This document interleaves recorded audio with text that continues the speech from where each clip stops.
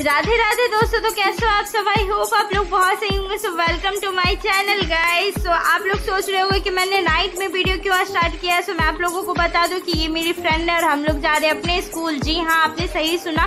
मैं जा रही हूँ अपने स्कूल जहाँ पे मैं थ्री से लेकर के एट क्लास तक पढ़ी हूँ। सो ये मेरा स्कूल आ चुका है मेरा हार्ट बीट एकदम तेज हो गया यहाँ पे फ़ंक्शन था, इसलिए हम लोग आए थे अटेंड करने के लिए। गाइस मैं आपको बता नहीं सकती हूँ मैं कितना ज़्यादा खुश हूँ और ये रहा मेरा क्लास अभी काफ़ी अंधेरा तो आपको सही से दिख नहीं रहा होगा।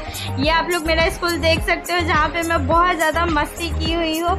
और ये है मारुति, मेरी फ्रेंड का भाई है, यही पार्टिसिपेट किया हुआ है सो इसी का डांस देखने के लिए हम लोग यहाँ पे आए हैं। और मैं बता नहीं सकती कि मैं कितना ज़्यादा एक्साइटेड हूँ, और ये छोटा मेहमान ये तो एक जगह रुकता ही नहीं है। इसको इतना ज़्यादा मतलब कि खुश करने के लिए तो हम लोगों को मेहनत करना पड़ा।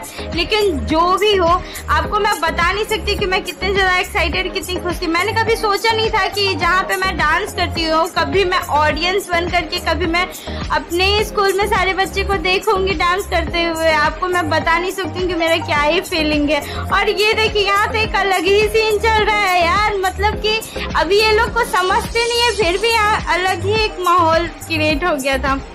डांस से ज़्यादा तो हमें ये देखने में मज़ा आ रहा था। मैं उसे बुला भी रही थी कि आजा मेरे पास आजा, लेकिन वो फिर से उसी के पास जा रही थी। अभी से जी एफ़ वाला माहौल चल रहा है। ओ माय गॉड और वहाँ देखिए, ये लोग यहाँ से उठ करके वहाँ चले गए। डांस वो क्या करेंगी? नीचे देखिए, नीचे वाले का। मैं तो हालत खराब हुई था, उसको मैं बार बार पकड़ करके ला रही थी कि आजा बेटा, मेरे पास बैठ, वहाँ पे दीदी लोग डांस करिए देख ले। लेकिन ये नटखट मेहमान सुनता ही नहीं है। फिर भी हमें बहुत ज़्यादा अच्छा लगा और इसके साथ तो और ज़्यादा ही नटखट गोपाल इतना बदमाश है, लेकिन क्या बोलू। और ये लोगों को देखिए, ये लोग पीछे बैठ करके चैटिंग कर रहे थे। ये लोग स्कूल में यही करने के लिए आए थे। लेकिन जो बोले, हम लोगों को बहुत मज़ा आया, काफ़ी हम लोग मस्ती कर रहे थे। आपको मैं बता नहीं सकती कि मैं अपने स्कूल आकर के कितनी ज़्यादा खुश थी, क्योंकि मैं कितने सालों के बाद आई थी।